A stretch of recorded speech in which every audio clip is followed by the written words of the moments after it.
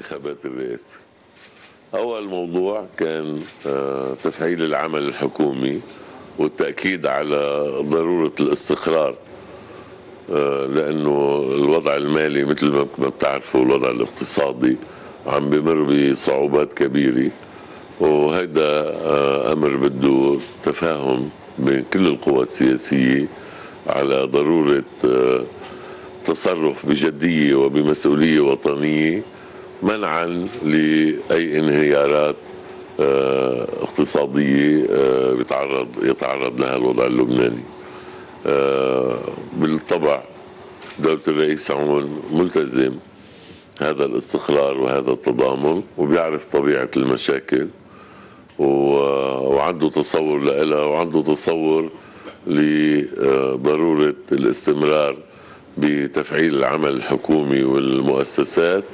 الدستورية حفظا للبنان من إنه يتعرض ل آه، يعني مشاكل كبيرة آه، بمحيط كلنا بنعرف إنه وضعه سيء جدا.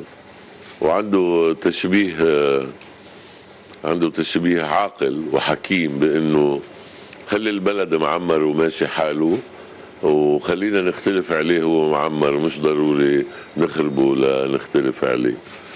النقطة الثانية بتتعلق ببعض التشاور حول آه، المسائل الأمنية وبعض الشواغر بمجلس قيادة قوى الأمن الداخلي واللي بطبيعة الحال دائما إمكانية التفاهم مع دولة الرئيس عون آه، بالنسبة لي سهلة وممكنة ومحققة.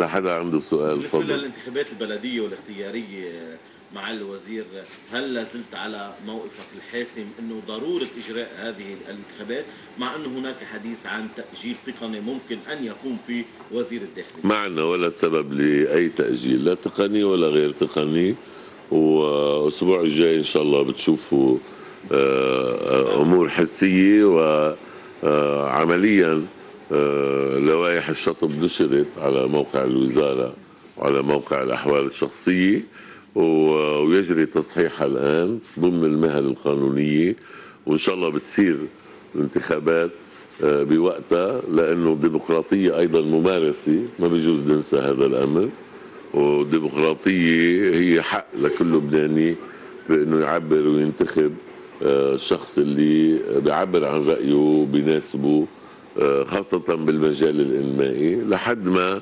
يكون الظرف الإقليمي سمح بإجراء آه، انتخابات رئاسية. أنا متفائل بأنه السنة حيصير في انتخابات ما رح لكم يعني بكرة وبعد بكرة.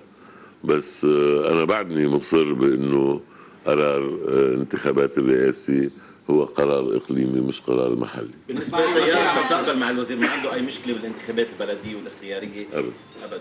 بس مع الوزير عم إنه الاستحقاق الرئاسي انتهت بسبب الاشتباك الاقليمي بين السعودية وإيران. الشباك الإقليمي دائم ومستمر بس الشباك الإقليمي لابد ما يوصل لهيك